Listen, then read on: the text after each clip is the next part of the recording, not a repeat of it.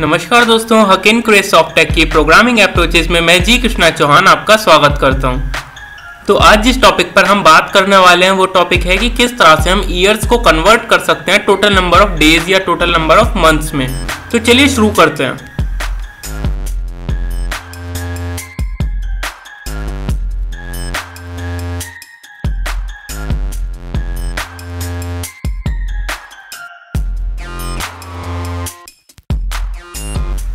तो फ्रेंड्स इसके लिए आपको पता होना चाहिए स्ट्रक्चर ऑफ़ सी प्रोग्रामिंग अगर आपको ये नहीं पता है तो आप हमारी प्रीवियस वीडियोस भी देख सकते हैं इस टॉपिक के रिगार्डिंग और इसके साथ साथ आपको पता होना चाहिए डेटा टाइप और उसका फॉर्मेट स्पेसिफायर और आप फॉर्मूला किस तरह से अप्लाई करेंगे इस पर्टिकुलर प्रोग्राम के लिए.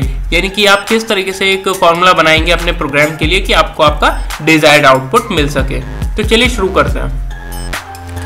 सो so फ्रेंड्स हमको ये अगर प्रोग्राम बनाना है तो इस प्रोग्राम को बनाने के लिए सबसे पहले प्री प्रोसेसर डायरेक्टिव सेट कराऊँगा मैं यहाँ पर। हेडर फ़ाइल सेट कराऊँगा hash include H T D I O dot H और hash include conio dot H उसके बाद में यहाँ पर मेन फ़ंक्शन ऐड कराऊँगा वाइट मेन क्योंकि मेन फ़ंक्शन कुछ रिटर्न नहीं कर रहा है, इस वजह से हमने मेन फ़ंक्शन को एज अ वॉइड ट्रीट किया है, ठीक है?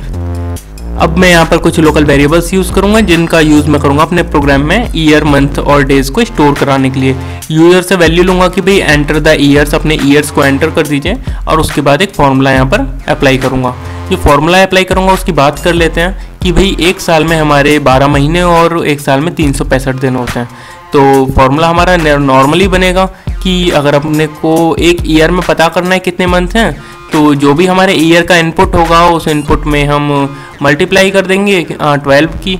तो हमारे को पता चल जाएगा भाई कि पर्टिकुलर इतने मंथ्स हैं, जो भी गिवन नंबर ऑफ़ ईयर्स हैं उसमें। और, हमको ये भी पता है कि भाई एक साल में होते हैं तीन सौ पैंसठ दिन। तो गिवन नंबर ऑफ़ ईयर्स में अगर हम मल्टीप्लाई करें 365 की तीन सौ पैंसठ की तो हमको पता चल जाएगा कि पर्टिकुलर इतने सालों में कितने दिन होंगे। तो बिल्कुल सिंपल सा हमने यहाँ पर फंडा अप्लाई किया m equal to y into twelve यानी कि month equal to year into twelve इससे अपने को पता चल जाएगा भाई महीने कितने हैं। और इसी तरीके से हमने किया है days equal to y into three sixty five यानी कि हम अपने को पता चल जाएगा, हम लोगों को यहाँ पर पता चल जाएगा कि एक ईयर में या फिर गिवन नंबर ऑफ़ ईयर्स में कितने दिन होते हैं। सो फ्रेंड्स आउटपुट डिस्प्ले कराने के लिए हम यहाँ पर प्रिंट कर देंगे। कि जो भी हमारा आउटपुट है कि गिवन नंबर्स ऑफ़ ईयर्स में कितने मंथ हैं और कितने डेज़ हैं उनका रिप्रेजेंटेशन किस तरह से हमने यहाँ पर किया है? Months in percentile d years are percentile d and days are percentile d और रिफ्लेक्ट करा दिया ईयर्स को मंथ को और डेज़ को। uh, किस तरह से? कि month in given number of year are particular these and days are these तो इसको प्रोग्राम को कंपाइल और रन करके देख लेते हैं कि हमारा आउटपुट क्या आता है। तो सबसे पहले मैं कंपाइल करूँगा और कंपाइल करने पर देखिए कोई गलती नहीं है, अब इसको मैं प्रोग्राम को जल्दी से रन करूँगा, ठीक है?